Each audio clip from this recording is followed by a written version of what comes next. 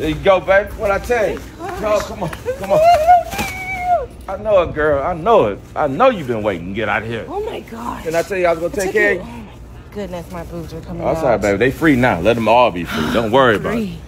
Woo, child. I know you happy to be out. Yes. I told you. They made me put all my stuff in this bag. Yeah. My bra had like wiring, and they didn't want me to use it Nah, to like stab anybody. You being that shanking people. You can't do that now. No, I would never do that. Just a little patience. I know, I know I, it took a little bit longer than what you thought it was gonna take, Yeah. but I came right on time. It took a really long time. That's what I'm trying to tell you. I know, but listen, um, you hungry? You want? I want a medium rare steak with hollandaise sauce. Oh, yeah. I want asparagus. I want mashed potatoes. I Got want some wine. yeah, baby, I'm gonna take care of you. You free now. Look, call me the emancipator. Abraham Lincoln, you up out of here, girl. I know I miss you too, girl. Mm, mm, mm. And look, you ain't no, you ain't scratched up or nothing. You didn't have to fight or nothing. No, I did not. Yeah. I told you I had a girlfriend. Now where's she at?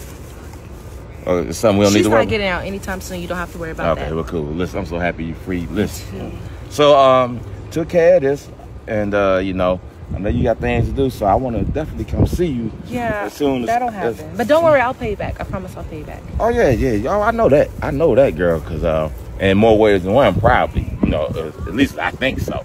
Okay. You know, I want to see you as soon as possible. I want to give you opportunity. You know, go home and get the incarceration washed off of you and everything. Cause you're free now. You're free, girl. That's what I do. I'll make sure I get all cleaned up. I promise. Get us, yeah, you got to get cleaned up. Now, I'm sorry you had to stay in there so long, but you know, it's paperwork, a lot of stuff I couldn't get to the You lawyers. took a really long time. Yeah, You took a really long I time. know, but you, you know, it's glad you got out. Look how for the day is. The day is so pretty. It rained for a couple of days, so you didn't want to be out there and out here in this anyway. So you know, it's a pretty day. You're free.